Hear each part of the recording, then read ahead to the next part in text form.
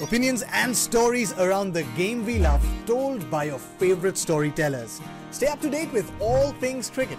Subscribe to CricBuzz's YouTube channel and press that bell icon now.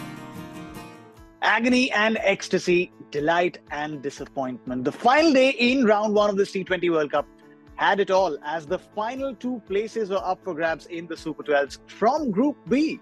First game was the West Indies taking on Ireland, and the second one, Zimbabwe taking on Scotland. Let's recap it all in our match story.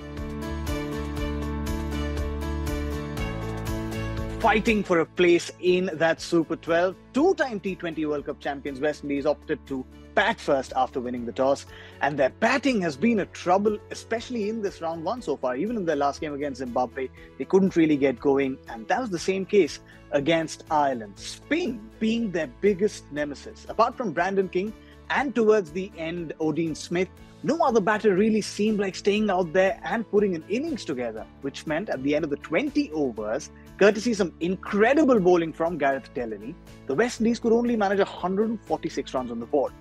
Now, if the batting performance was pretty similar to the last game, West Indies would take a lot of hope from the fact that they were able to defend a 150 odd score in the first game against Zimbabwe.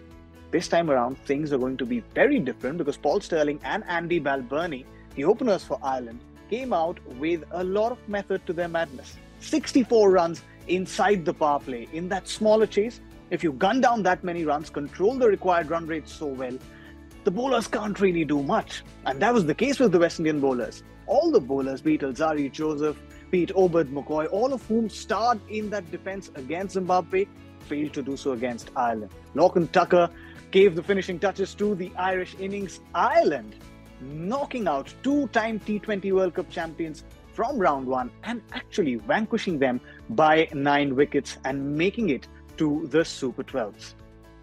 In the second game of the day, Scotland were taking on Zimbabwe. Scotland won the toss and opted to bat first, and their hero from the last game, Michael Jones, and also Matthew Cross, who got runs in the last game, couldn't really get going. Zimbabwe's bowlers were on point, and even after that, Scotland tried to really put the foot on the accelerator, but it didn't really ever turn out to be that sort of an innings. At the end of their 20 overs, which meant that Zimbabwe had a very decent target in sight, one that they would hope to gun down.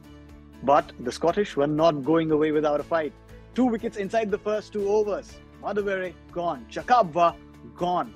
Then Sean Williams was gone as well.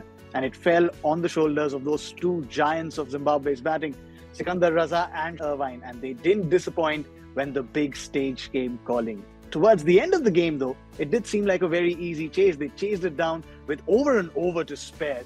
Zimbabwe becoming the second team to qualify into Super 12. But by the virtue of being ahead on the net run rate, Zimbabwe qualify as B1 and go into the group with India, Pakistan, and South Africa. Ireland, on the other hand, qualify as B2 and go into the group with Australia, England, and New Zealand. Now we have our four qualifiers into the Super 12 from round one, which means all gazes will now turn towards Super 12, where every game day we will be here with CricBuzz Live in Hindi and in English.